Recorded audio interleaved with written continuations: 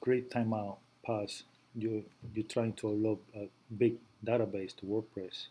What you need to do is to go to uh, in this case I'm using MAMP uh, you go to MAMP bin php my admin and we're gonna look for this file config.inc uh, .php you're gonna open it up on your uh, text editor and you're gonna find uh, this line ExecTimeLimit.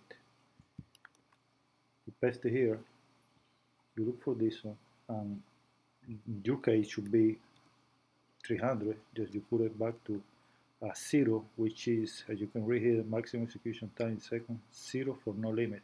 So put it zero save the file and that's it. That's pretty much it now try again and you shouldn't have this uh, error anymore